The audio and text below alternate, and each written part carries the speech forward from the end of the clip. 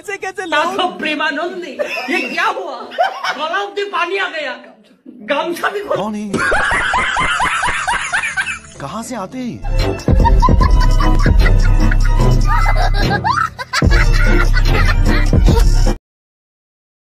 Welcome to back my channel तो आज हम सब आए हैं कुछ अलग जगह, यानी स्पेशल करने। और जय श्री राम आप सभी को, और हम आए हैं ये। देख लो आप सब बैकग्राउंड में जो दिख रहा है, वो पानी रोज़ा है, जो कि सासाराम में है। और हम सब सेकंड टाइम आए हैं यहाँ पर, और हम हमारे हाथ में ये टिकट है। भाई, आधार कार्ड से ये बोल रहे थे आने के लिए बट हम सबको आधार कार्ड से अलाउ नहीं किया उसने। तो हम सबको टिकट लेना पड़ा, वो भी फिफ्टी रुपीज़ लगे, दो दो जने आए हैं तो और चलते हैं, इधर का हम सब व्यू देते हैं आप सबको, और कैसा व्यू रहता है आप सब कमेंट सेक्शन में ज़रूर बताना, ठीक है?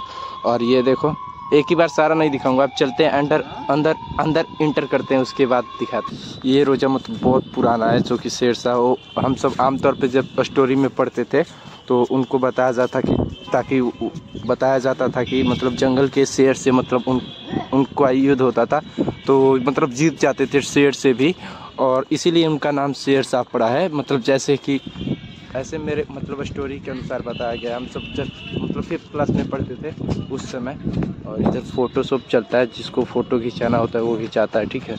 और हम सब तो क्लास जा रहे हैं। हम सब के पास मोबाइल है तो मोबाइल से ही फ़ोटो क्लिक कर लेते हैं ना?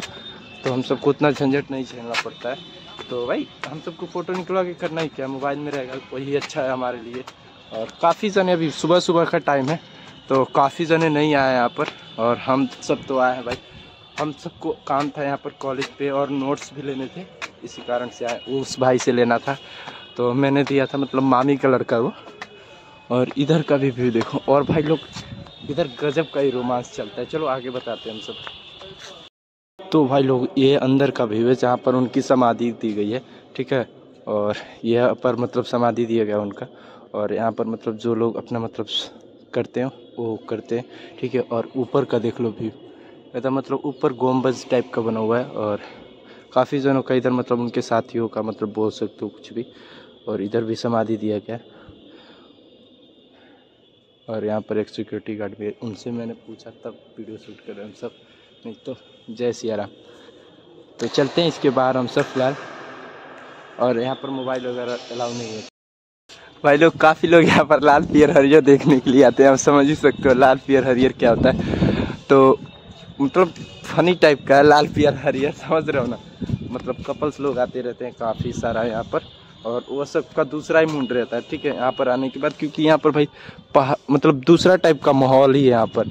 और इधर जो देख रहे हो पौंड में, तालाब में बहुत सारी मछलियाँ रहती हैं। चलो उधर भी दिखाते हैं हम सब। आए। हाँ?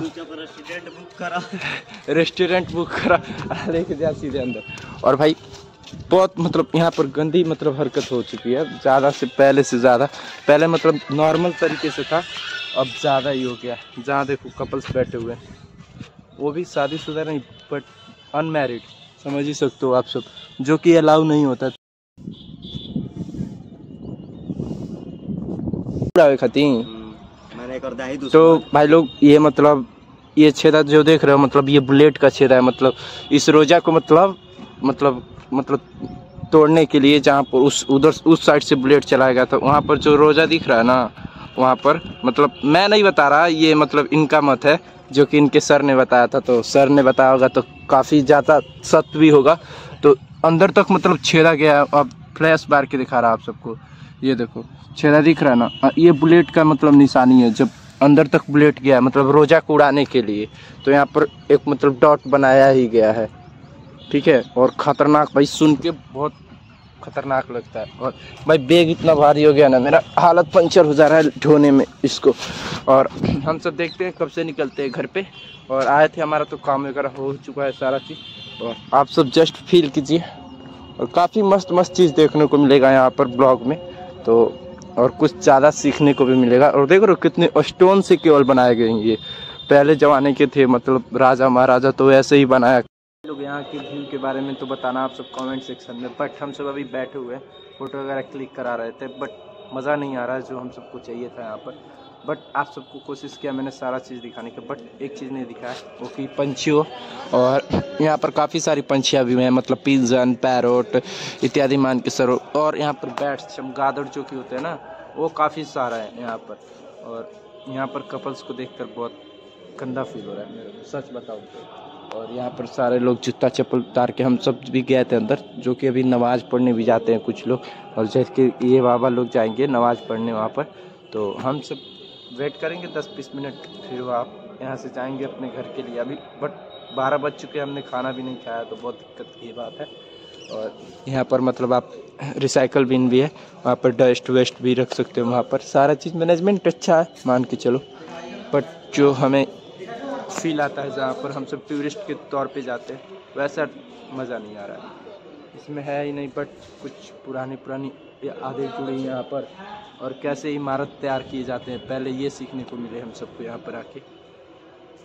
और इससे ज़्यादा उम्मीद ही क्या कर सकते हैं, पुराने महलों के अपेक्षा, नए महलों के अपेक्षा। उल्टा हो गया ना। और इतना मतलब कलाकारी है ना इसमें, आप सब देख ही के बता सकते हो कितनी ज़्यादा कलाकारी है इसमें। बहुत कलाकारी लगता है भाई, पुराने महलों में भाई छेनी तोड़ी से भी काम कर देते थे लोग। अब तो छेनी तोड़ी से थोड़े ना डिज़ाइन बनता है। उसका डायरेक्ट फॉर्म ही रखते हैं, ढाल देते हैं उसी से अच्छा में, जैसे ढालना रहता है। और पहले ये छेनी तोड़ी से बनाया जाता था फ्लावर जो भी बनाना होता था, पहले सब चीज़ हाथों से किया जाता था। जैसे ये फूल है, फूल, वो छेनी, हाथ से नहीं बनाया, छेनी हथौड़ी से हाथ का इस्तेमाल करके बनाया गया। और अब के फूल को बनाने में बस साचा डाल दो, जैसा फूल बनाना है, वैसे चिपका दो, बस। पहले भाई मेहनत ज़्यादा संघर्ष करना पड़ता था, तब कुछ तैयार होता था। अब फ़सल बोनी है छः महीने में, साल भर में दो फ़सल कट जा रही है। पहले नहीं कटती थी, फ़सल होती ही नहीं थी पहले, हम सबके इधर, या कहीं भी। कम फ़सल होती थी, और कम जनसंख्या भी थी तो कम बनता भी था, और अब ज़्यादा हो चुकी है तो ज़्यादा हो रहा है। तो भाई लोग, हम सब आए हुए थे स्टेशन पे, जंक्शन पे। और हम सब जा रहे हैं, हम सीधे घर यहाँ से, क्योंकि ज़्यादा टाइम बिता चुके हैं हम सब आने में और कल सबको पटना भी जाना है। तो कल दिक्कत ना हो, इसी कारण से मतलब जल्दी जा रहे हैं। तो चलते हैं सीधा घर पे, मिलते हैं आप सबसे।